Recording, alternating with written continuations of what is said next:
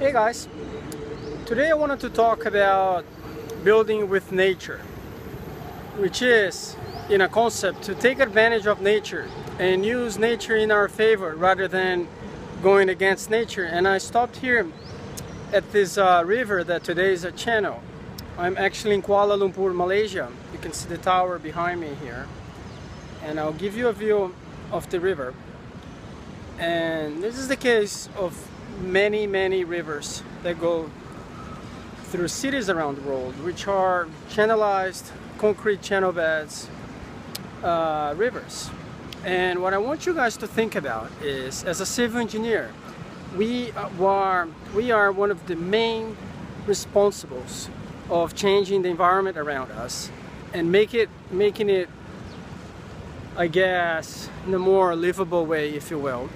Or what we wanted to think about is how to make it more sustainable for us, but also for the environment and nature.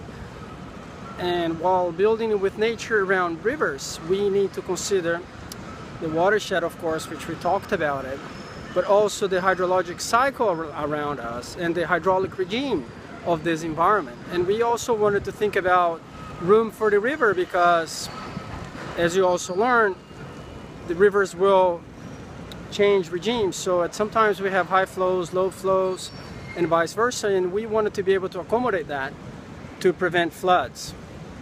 So really we want to be smart about it and use that in our favor, not going against it.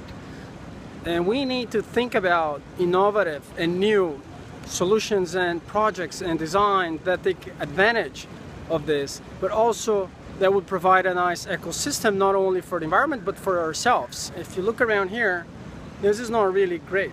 You know, it's not really pleasant around, which could be, you know, a really nice place around the water because water has this fantastic uh, way to bring people uh, make people more happy and feel good and if it's a nice environment that we can build around it's just a better place so what I want you guys to think about is think about a creative engineering solution that we could adapt here to make this a better environment that's both better to the ecosystem around here but also prevent floods and also provide a nice livable space around here. Think about it. Look forward to see your solution. You can sketch it, you can write about it, maybe a page, make a drawing, whatever you feel like. Let's see what you guys have. Again, from Kuala Lumpur, Malaysia.